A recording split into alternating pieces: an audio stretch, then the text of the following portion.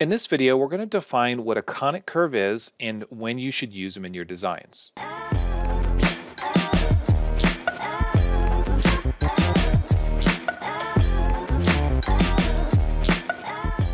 Hey everyone, this is Matt with Learn Everything About Design, and in this video, I'm going to try to describe what a conic curve is, and then we're going to talk about when we should use them in our designs.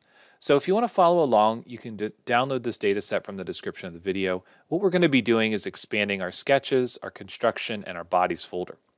This design has a revolved cone, and sketch 2 is an intersection between a rotated plane that's in this design.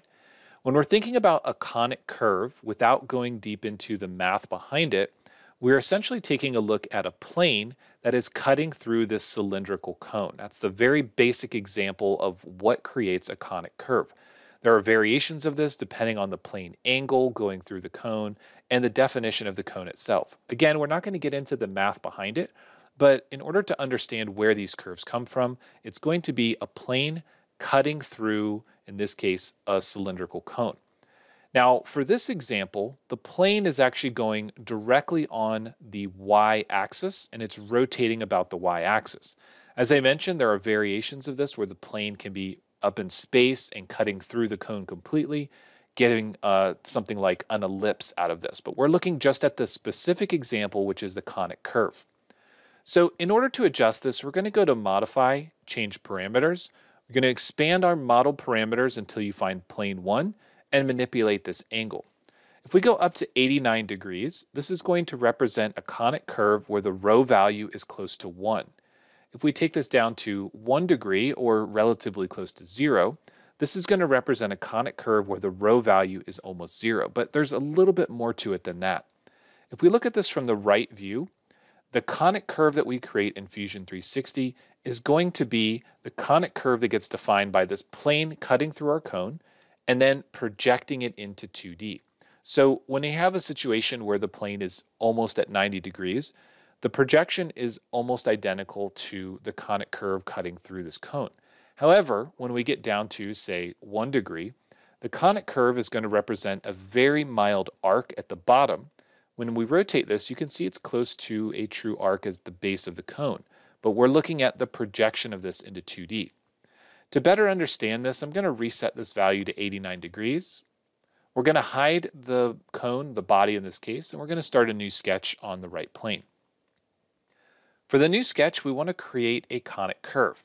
Now, we don't have to make sure that it's exactly right, but we want to start with our first point definition at the bottom left of our projection, the second point at the bottom right, and then our third point is going to be centered above the origin, just above our projection. Now, as we move this conic rho value up closer to 1, you can see that we are matching or relatively close to our plane cutting through that cone.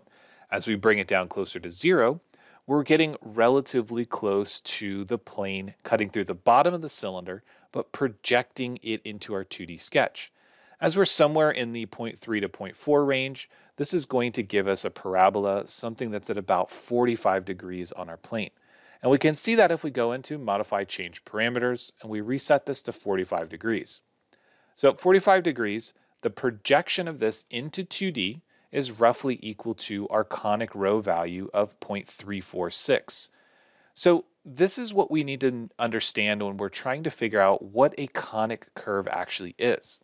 But now that we understand what it is, let's talk about when we want to use it. So to do this, let's create a new sketch. And I'm not going to go deep into this topic here, but I just want to highlight one thing. If we were to create a spline, and then we wanted a very tight transition in the corner, and then we wanted to carry this spline out again, in order to do that, we end up having to have a lot of control points in this corner. If I hit escape, select the spline, and turn on our curvature combs, because I've done this before, I can get a relatively nice result out of these curvature combs. However, as soon as we start to manipulate the handles or the location of these points, then we're going to start to affect the curvature and we'll get things like this little bump or this indention here that happens. And as we zoom out, we can kind of see that the curvature is going a bit crazy here. We've got a really tight radius. Now, the reason that we would want to talk about using a conic curve here is because what we can do is we can define that corner. We can define the conic rho value that we want. And then we can add splines to the outside of it for the larger areas of curvature. So for example, we might want to connect these two. We need to do this with tangency in this case. So you want to move the tangency handle around till it's relatively close, or you can fix or lock down that conic curve.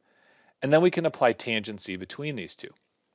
And you can move these handles around and you can adjust the curvature as much as you want because now you're driving it based off of that conic curve. So using only a start and an end point to the spline and then the conic curve in the corner is going to give us a much better result in terms of the curvature. I'm going to increase the scale of this so we can kind of see what's going on. The conic curve in the corner is going to have much better curvature than anything that we could define with a spline, just adding additional points. And if we increase that conic rho value, and then we take a look at the curvature here, once again, we've got a relatively straight section, very low radius of curvature, and then we've got a very nice transition into that corner and back out. So once again, this is a great way for us to define those curves without having to do it with a single spline. Now you might be thinking to yourself, well, I could just do this with one spline and then I can control the handles and get a very similar result. And that is true. You can do it that way.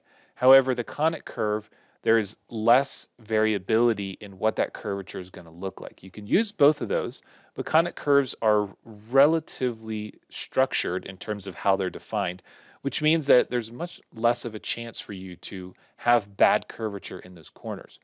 There are reasons why you want to use them and why you don't want to use them, but it's a good idea to understand how they're defined and play around with them. See if they will work in your designs and give you a better result than just trying to do something with a spline.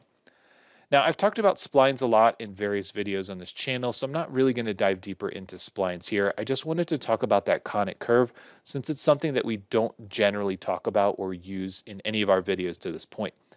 I do have an example later on in a future video where I want to use a conic curve, but if you have any questions on this, please let me know. As always, thanks for watching, and we'll see you in the next one.